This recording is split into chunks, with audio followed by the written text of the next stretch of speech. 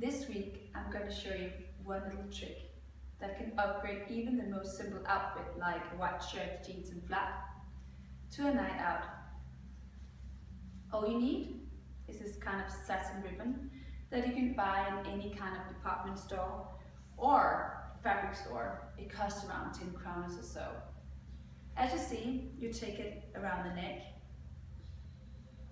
you tie a knot, to adjust it as it's almost even. You make a bow, which obviously is easier to do when you have a mirror in front of you, which I don't, so spare with me.